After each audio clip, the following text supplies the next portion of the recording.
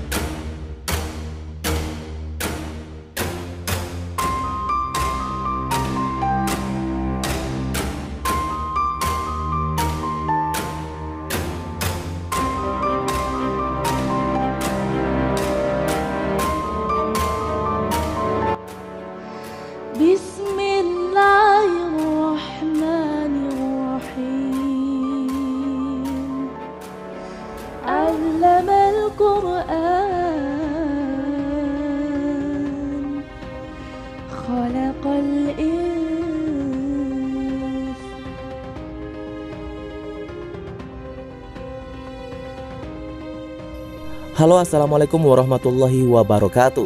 Halo sahabat Taribus TV Kembali lagi bersama kami di channel Taribus TV Oke baiklah pada kesempatan kali ini kami akan menyajikan kabar berita artis terbaru dan juga kabar berita artis terupdate hari ini. Semua juri dan semua penonton dibikin terharu oleh suara Putri Aryani. Merdunya menyentuh hati saat Putri Aryani Americans Got Talent baca Al-Quran. Namun seperti biasa sebelum kita lanjut ke pembahasannya jangan lupa untuk mensubscribe channel ini terlebih dahulu. Bila Anda suka dengan videonya jangan lupa untuk memberikan like dan tuliskanlah komentar Anda di bawah ini.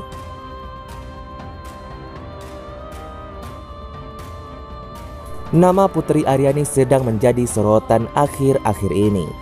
Penyanyi berbakat asal Riau ini tampil memukau di audisi Americans Got Talent 2023. Penampilannya yang gemilang membuat penyanyi penyandang tunanetra itu mendapatkan Golden Buzzer dari Simon Cowell.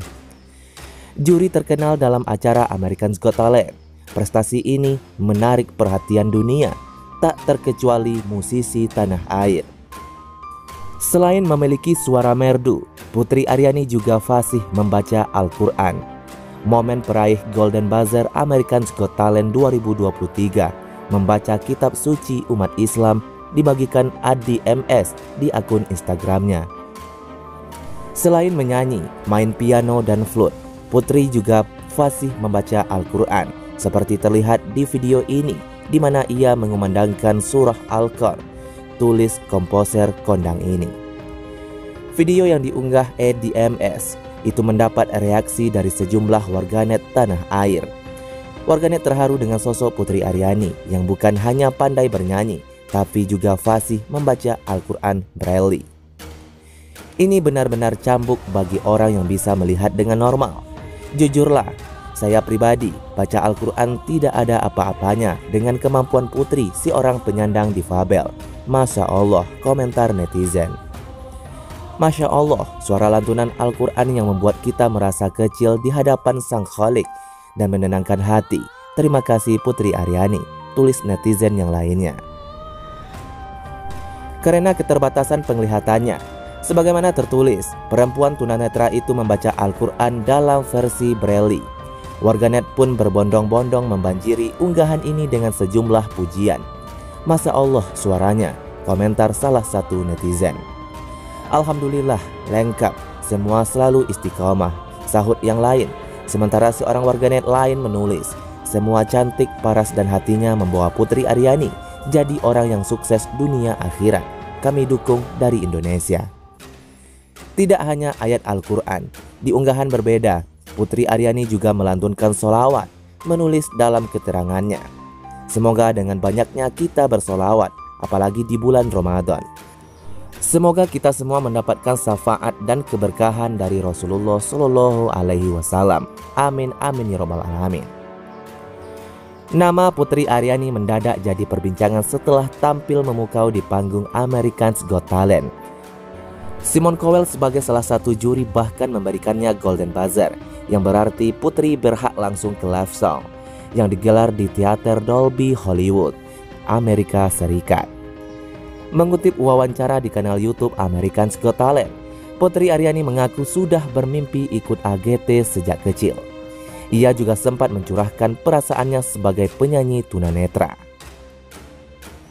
Nama Putri Aryani kini telah melambung tinggi. Penyanyi tunanetra asal Indonesia ini berhasil mendapat Golden Buzzer dari Simon Cowell, juri di ajang American Got Talent 2023. Ed DMS pun menunjukkan kemampuan lain Putri Aryani yakni fasih membaca Al-Quran.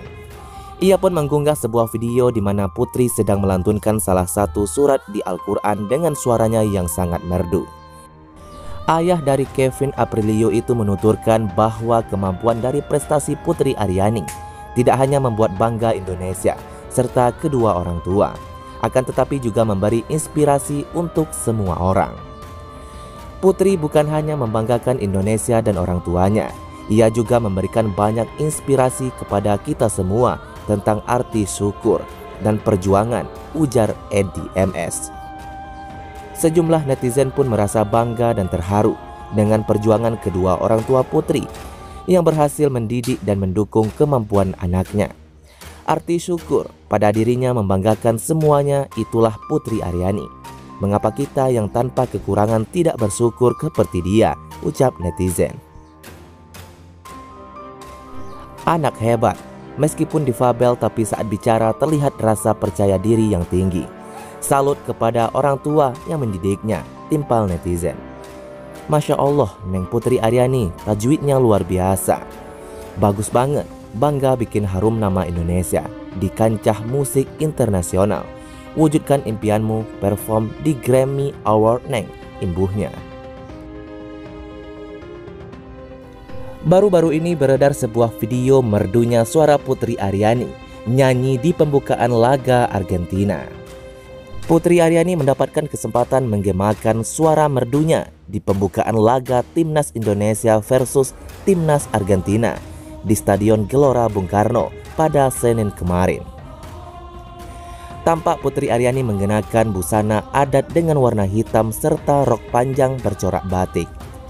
Dalam pertandingan tersebut, Putri Aryani menyanyikan lagu rayuan Pulau Kelapa ciptaan Ismail Marzuki diiringi orkestra. Selain itu, Putri Aryani juga menyanyikan lagu Berkibarlah Bendera Negeriku atau Bendera Negeri. Dengan suara lembutnya, Putri Aryani sukses membuat kagum puluhan ribu penonton timnas Indonesia, termasuk Presiden Jokowi. Di kursi VIP, turut terlihat Ketua Umum PSSI Erick Thohir mendampingi Presiden Jokowi. Decak kagum mendengar suara peraih Golden Buzzer Americans Got Talent ini dilontarkan di media sosial para penonton laga timnas Indonesia dan timnas Argentina ini.